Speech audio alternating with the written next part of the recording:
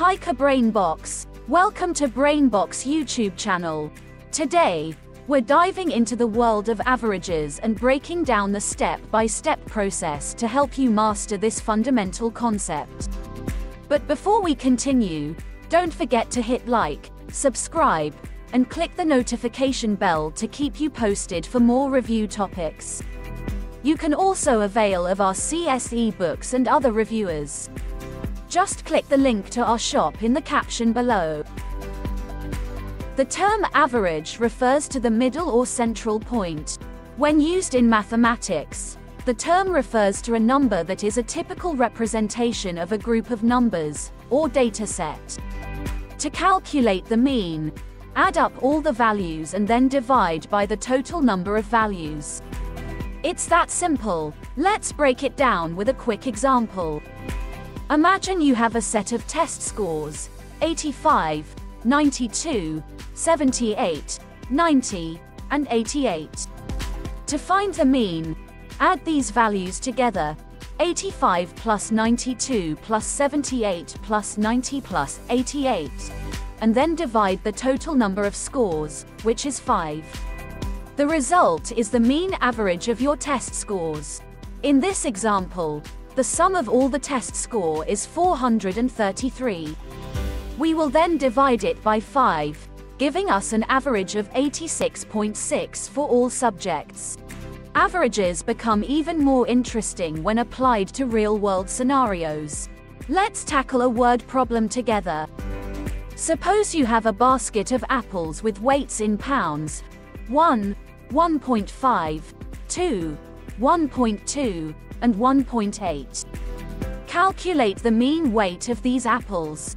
Pause the video if you need more time to solve it. To calculate the average weight of these apples, add these values together. 1 plus 1.5 plus 2 plus 1.2 plus 1.8, and then divide the total number by 5. In this instance, when we add up the weights of all the apples, the total comes to 7.5. Next, we divide this sum by 5, resulting in an average weight of 1.5 for each apple. Since we have thoroughly discussed averages, let us try to expound our knowledge by answering this practice set. You have one minute to answer each item. Good luck! You have the following temperatures recorded over a week 73, 72, 68, 74, 80, and 76 degrees Fahrenheit. Calculate the mean temperature for the week. Timer starts now.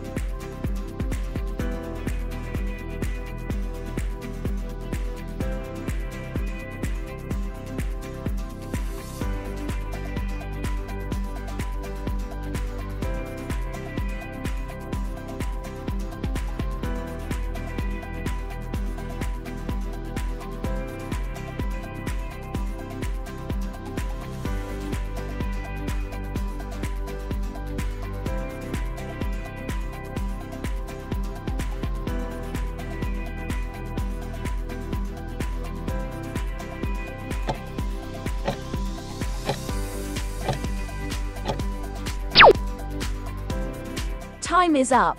The correct answer is 73.83 Fahrenheit.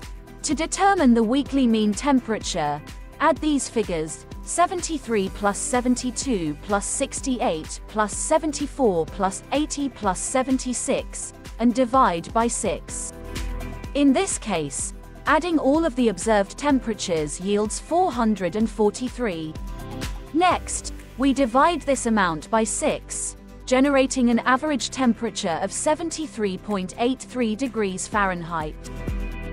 And there you have it, a step-by-step -step guide to finding the mean average. Share this video for others to learn too. If you want to learn more, you can avail of our CSE books and other reviewers. Just click the link to our shop in the caption below. If you are new to this channel, don't forget to like and subscribe. Thank you for watching.